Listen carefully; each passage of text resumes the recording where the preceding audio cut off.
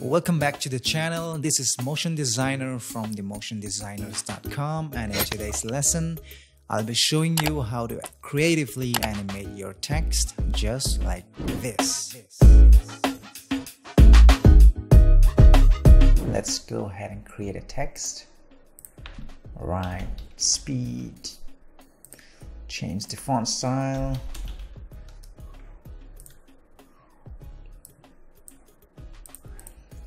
and align it to the center. Maybe that's too big.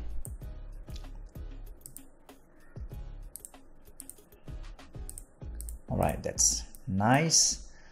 And let's go ahead and animate the position of the speed. Hit P on the keyboard. Go to five frames set a keyframe for the position go back to the first frame and shift it somewhere here. Select all the keyframes F9 for easy ease all you have is this. So let's enable the motion blur for the layers and for the composition and you have this motion blur text. All right let's keep that for a side now and grab this pen tool and disable the fill. Make sure you click on the fill text here to disable. If you click the colors the, the color panel will open like this. So you don't want that. Click fill and X that out and go to the stroke to the color and set it to white. 5 pixel let that be there. We can change it later on. Click here and hold on shift and click it somewhere here. And all you have is a stroke. And I'm going to animate this by adding a trim path very simple. Collapse this trim path going to animate this start and end. So set a keyframe to zero and five seconds 100 and select this start and offset a little bit. Select all the keyframes F9 for easy ease. And what you have is this. Maybe that's too fast or maybe offset it even more. All right that's looking great for me now. And let's turn on the motion blur for this layer as well and you have that you rename this shape layer 1 to 1 and control D to duplicate and move it down here and offset the position like this position and maybe offset the stroke amount and go to the contents and shape stroke and add a dash so that you have some random lines like this. Select all the keyframes and offset a little bit here.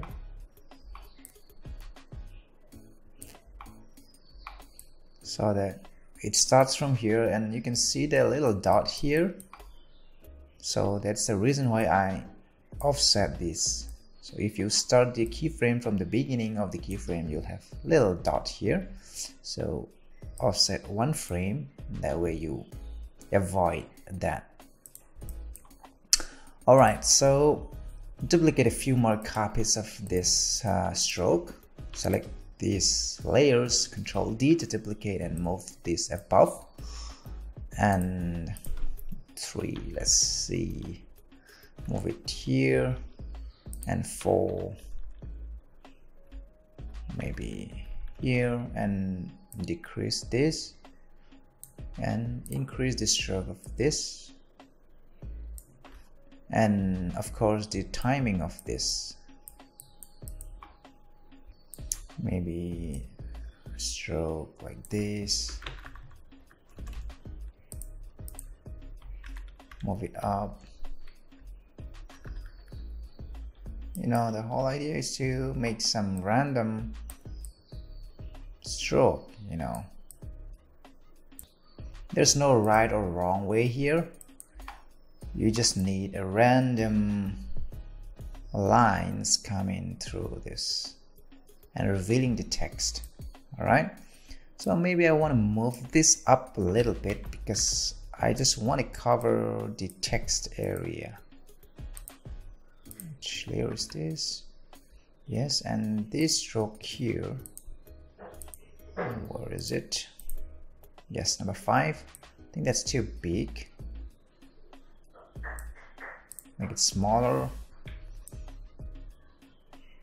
And one more thing to consider here is as you can see the animation endpoints are different for each lines because I offset the position from left to right. So if you want the lines to stop at the exact same position you can go inside this uh, stroke shape and stroke and you'll have to you know offset the path of this shrink it down like this you know and do that. So I'm not gonna do that. I just want I just like these random you know endpoints of each stroke. So I'm gonna stick with this and let's see let's duplicate some more copies. Three. All right let's move it up. Some random random lines like this.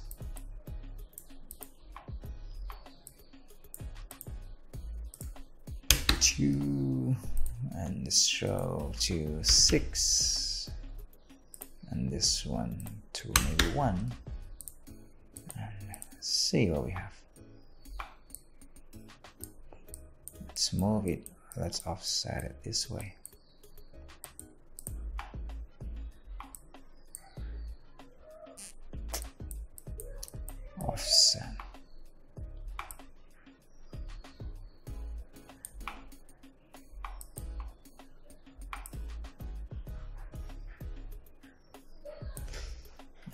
duplicate even more control D and offset the timings.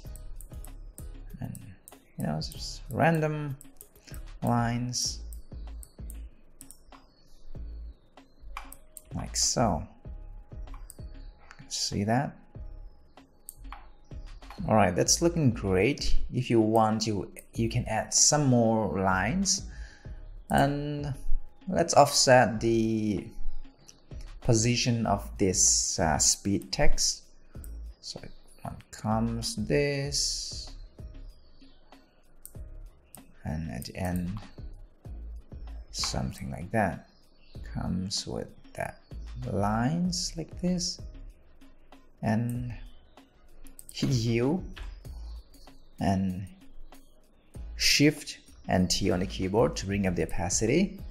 And set a keyframe for the opacity 100 and first keyframe set it to 0 set all keyframes select all the keyframes F9 for easy ease and like so. All right that's really nice. So once I've done this let me create a new adjustment layer. And I'll call it color and what I'm gonna do is go to the effects and presets and type in fill drop that this color and you can change the color to whatever color you like and bam you have that. And I'm going to select all of this and pre-compose this control shift and C and I don't know let's write title design one. Hit OK. And you have this inside the pre-composition. And oops one thing I forgot is let's add a new adjustment layer and rename this. Shine and add a glow effect in this stylize and glow that way you have some glow effects going on there. Without glow, with glow. And there you have it. makes it a little bit more pop out and more interesting like that. and once you're done with that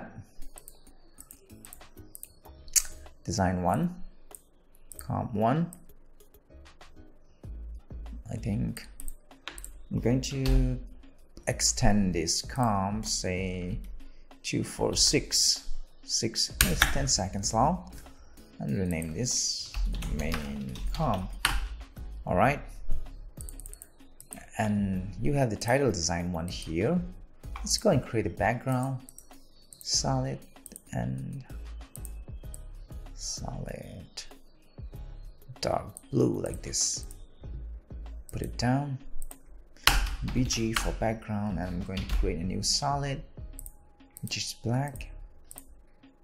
And select this ellipse tool double click on it go to the mask subtract hit F to feather this out.